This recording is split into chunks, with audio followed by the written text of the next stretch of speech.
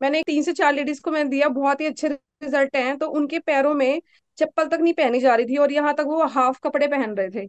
उनको इतनी प्रॉब्लम थी कि समझ ही नहीं आ रहा था कि इन्फेक्शन इतना बढ़ चुका था उन्होंने काफ़ी जगह दवाई कर ली। जैसे पैरों की मतलब स्थिति वैसी हो गई थी कि वो मतलब देख भी नहीं पा रहे थे। बढ़ता ही जा रहा था वो, जैसे ईचिंग खुजली होती है ना तो उसको हम कर लेते हैं तो वो फैलता चला जाता है।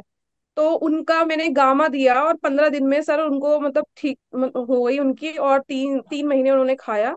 तो उनके बेहतर रिज़ल्ट हैं बट तीन महीने से वो खा रही थी उनको कोई भी फ़र्क नहीं पड़ रहा था बाहर की मेडिसिन से।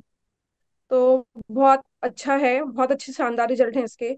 और मैंने एक लेडी को दिया तो उनके स, मतलब सीने में गांठें आई थी और तीस से चालीस हज़ार रुपये का उन्होंने मतलब खर्च कर दिया अपने ऊपर। और नहीं समझ पा रहे थे कि दिल्ली और चंडीगढ़ भी उन्होंने दिखाया। मेरी जानकारी में है तो मैंने उनको वो सजेस्ट किया तो उनकी भी सर मतलब तीन महीने वो गांठें मतलब ऑपरेशन के लिए डॉक्टर ने बोल दिया था लास्ट में तो वो भी ठीक हो गए हैं। और तीसरा है मेरी मदर तो मेरे मम्मी को यहाँ पीजीआई दिखाया, चंडीगढ़ में बत्तीस हॉस्पिटल दिखाया, वो मतलब डेढ़ से दो साल से बीमार थे कंटिन्यू, और समझ ही नहीं आ रहा था, रिपोर्ट में कुछ आता ही नहीं था।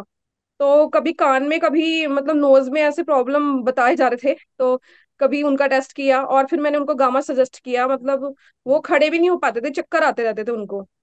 तो वो अभी अच्छे से काम कर रहे हैं, गाँव में रहते हैं और मतलब गाय भी पाली हुई उन्होंने तो सारे काम घर के कर लेते हैं, वो बिल्कुल फ्री माइंड रहते हैं और मुझे बोल रहे हैं कि मैं, मुझे लग रहा है कि मेरी एनर्जी पूरी वापस आ चुकी है।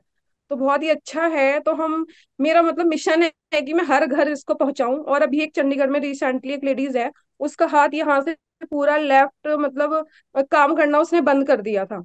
तो मैंने उनको दिया तो अभी पंद्रह दिन हुए उनको मेरा मतलब उनका कॉल मेरे को आया कि मैम काफ़ी रिलीफ है मेरे को बहुत अच्छा लग रहा है कि मेरा हैंड वापिस काम कर रहा है। और मैं चाहती हूँ कि हर घर में हर मतलब पूरी फैमिली उसको यूज़ करे। Thank you sir.